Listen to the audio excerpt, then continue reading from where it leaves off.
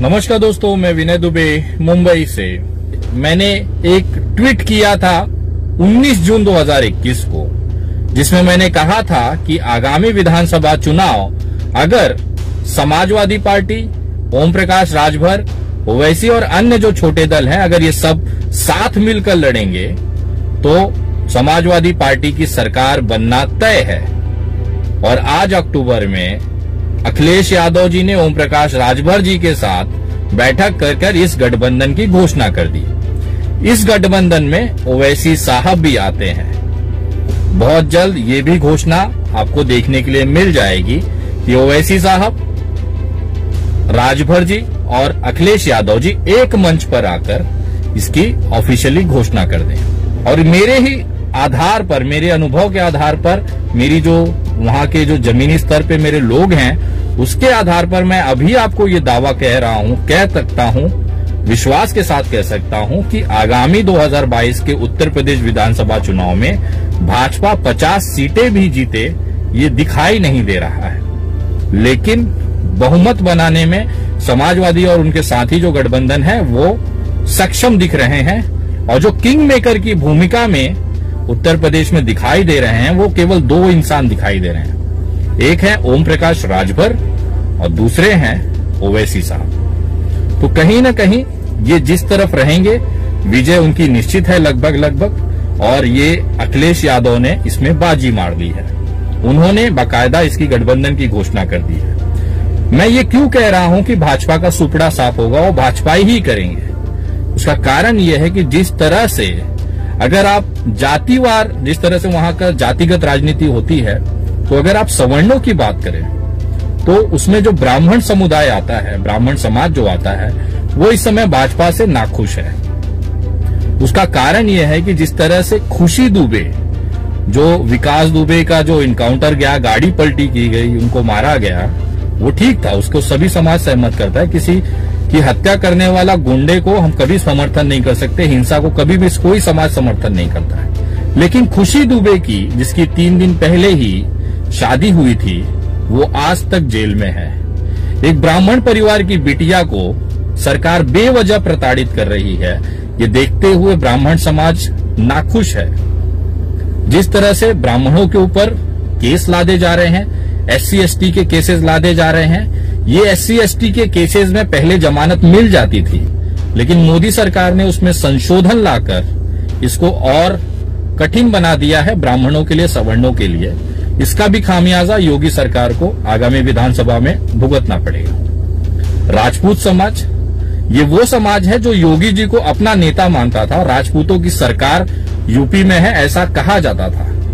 लेकिन महाराजा मिहिर भोज की जिस तरह से प्रतिमा अनावरण को लेकर, उन्हें गुज्जर समाज का बताकर, भाजपा सरकार ने गुज्जर समाज और राजपूत समाज को आपस में लड़ाया है, इससे कहीं न कहीं एक बड़ा तबका राजपूत समाज का और गुज्जर समाज का, वो आहत हुआ है। जो राजपूत इन्हें अपनी सरकार कहते थे, वही राजपूत समाज ने बाइकॉट बीजेपी का ट्रेंड चलाया, बीजेपी के खिलाफ ट्विटर ट्रेंड किया, और ये कहीं ना कहीं एक बड़ा तबका राजपूतों का भी भाजपा से खिसक गया। रही बात पिछड़ी जातियाँ, जो ओबीसी ओबीसी वगैरह हैं, माइनॉरिटीज हैं, ये कहीं ना कहीं इनका झुकाव राजभर ओवैसी साहब और समाजवादी की तरफ़ है।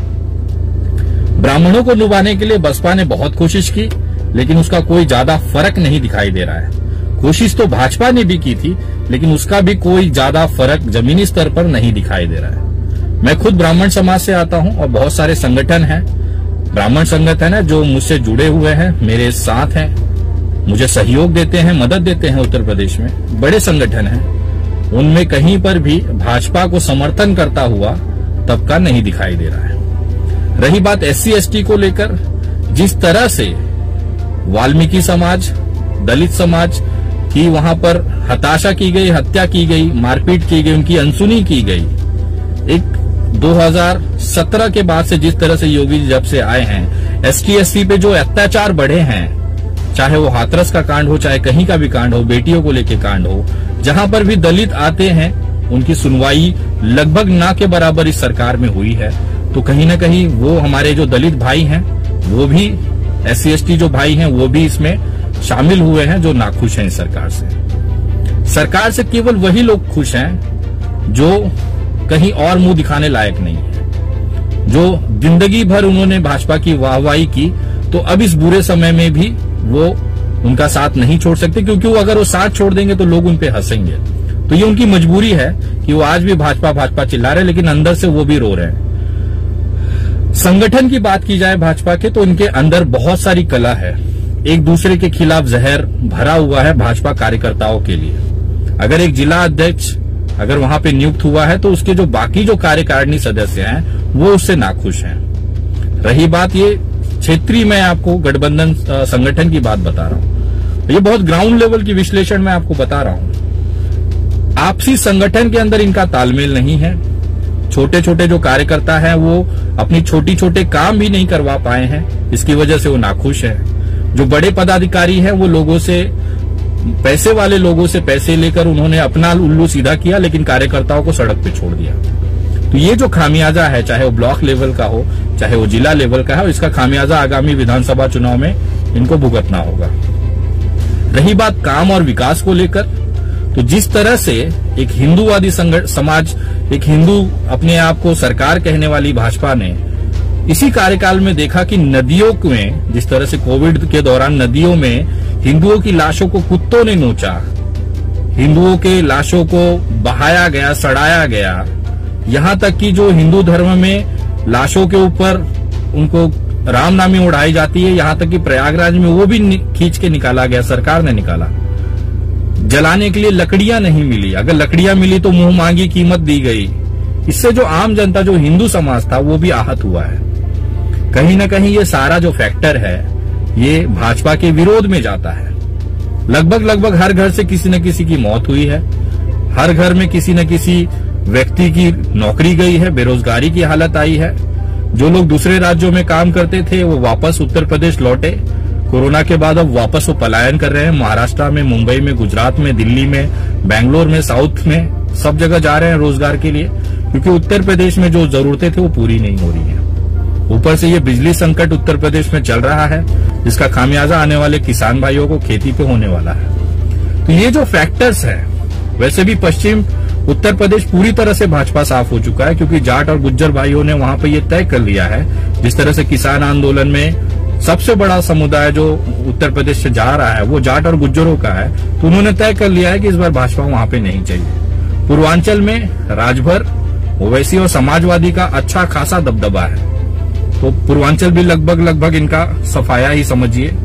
इसी के लिए मैं कह रहा हूँ कि आपसी संगठन की इनकी जो कला है विधायकों और सांसदों की योगी जी के लिए जो नाराज़गी है, आरएसएस की जो नाराज़गी योगी जी के साथ है, उनका जो हटपना है, उनकी जो एक दबंगई का हिसाब है, वो अपने ही संगठन के लोगों को संतुष्ट नहीं कर पाया है तो जनता को तो बहुत दूर की बात है। प्रशासनिक में भी एक दबाव प्रशासन के ऊपर है तो वो भी इस दबाव से मुक्ति चाहते हैं। तो कुल मिलाकर जो एक समीकरण वहाँ पे बन रहा है वो समाजवादी पार्टी, राजभर और ओवैसी के पक्ष में बनता दिख रहा है और उसी का आपको आगामी चुनाव में नतीजा मिलेगा। कांग्रेस ने एक बहुत अच्छा कम किया है लखीमपुर कीरी केस में। प्रियंका गांधी जी जिस तरह से मेहनत कर रही हैं, लेकिन अभी भी वो रेस में आए, इतनी उपलब्धि अभी भी कांग्रेस की नहीं है, क्योंकि उनके पास कोई स्ट्रांग चेहरा नहीं है, न ही प्रियंका जी के अलावा कोई दूसरा ऐसा व्यक्तित्व है। रही बात जिस तरह से कांग्रेस का कम है, वो अच्छी लड़ाई लड़ी है, लेकिन चुनाव जीतना, उनके पास उम्मीदवारों का होना, ये अभी भी बहुत दूर दिखाई दे रहा है। तो लड़ाई उत्तर प्रदेश में केवल दो जन की है, समाजवादी पार्टी और भारतीय जनता पार्टी।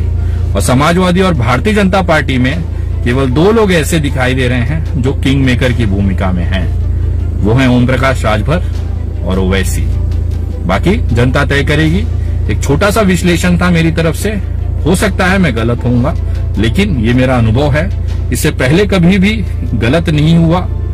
आगे भी उम्मीद करता हूँ कि यही रहे और भाजपा मुक्त भारत की एक कील जो है ताबूत में, वो उत्तर प्रदेश में ठोकी जाएगी। जिन लोगों को मेरी बातें बुरी लग रही हो, वो पानी पी सकते हैं। जिनके पिछवाड़े आग लग रही हो, वो बरनौल लगा सकते हैं। लेकिन नतीजा लगभग इसी के आसपास होगा। मिठाई की तैयारी करिए।